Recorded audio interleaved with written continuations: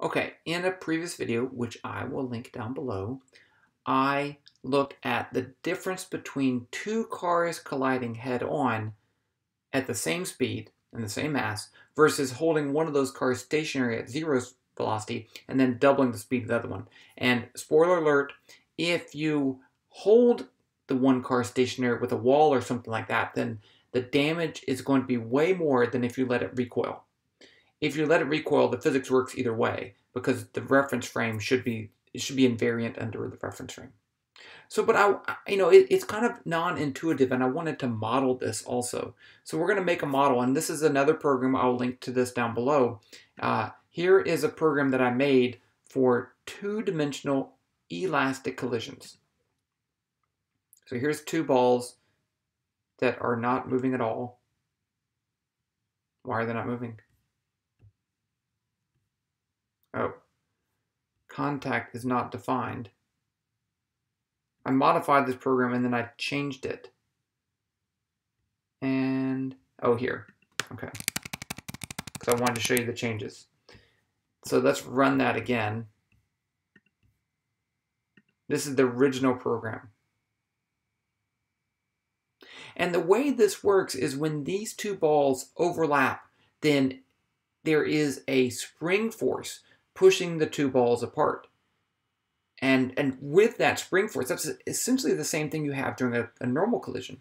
And this gives an elastic collision. Uh, you see here that the momentum is conserved. I printed out down here, and the kinetic energy is conserved. So everything's cool. But now I want to make it an inelastic. I want to make them stick together, and then I want to turn this into the, the situation that we had uh, before.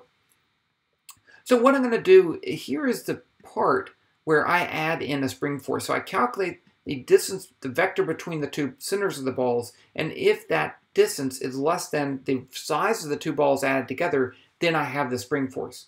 Otherwise, up here, I have the spring force is zero. Okay, so what I'm going to do is add one simple thing. I'm going to say uh, if they, once they hit, they always stay in contact. And so as they move apart, there's a spring force pulling them back together. So it not only does it push them apart, but it once they get further apart than their centers, it gets pulled back together. So they're kind of like uh, stuck together with a sticky thing.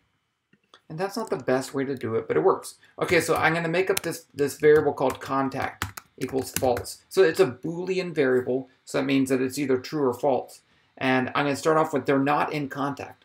Now down here, I'm going to say if the magnitude of the distance between them is less than the radius, then I have a spring force. Or if that, or contact. So if contact, if that's true, then I have I calculate the spring force. Or if it's smaller than the radiuses add together, I add, calculate that. And so then they start off, they're not in contact. Once they become in contact, I want them to always be in contact. So here I'm just going to add contact equals true. So that's all I need to do, I think. So I set this variable to false, and then I put a new condition in my statement, and then I make that thing true. So once I make it true, it'll always be true, and it'll continue to do this. I think this will work. Okay, so let's see. So let me turn down the spring constant just so you can really see what's going on.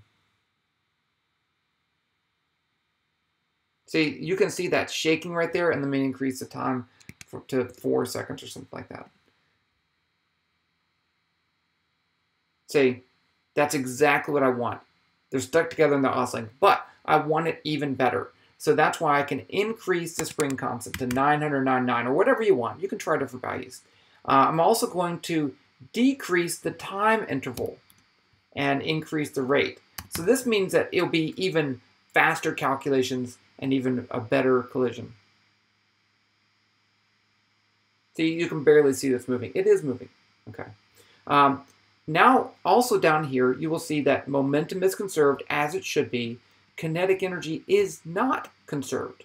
It's close, but it's not. Okay. Now we can go change this to what we want. I'm going to put them uh, ball A at 0, ball B at 0, and they're going towards each other uh, at opposite no, I didn't. One stationary. Okay, let's do this one first. Okay, there they collided. And this is the first case. You can see them still shaking. Uh, the change in the kinetic energy. Oh, let's do this. Let's do this down here. Because I really care about the change in kinetic energy. So print uh, dk equals uh, k2 minus k1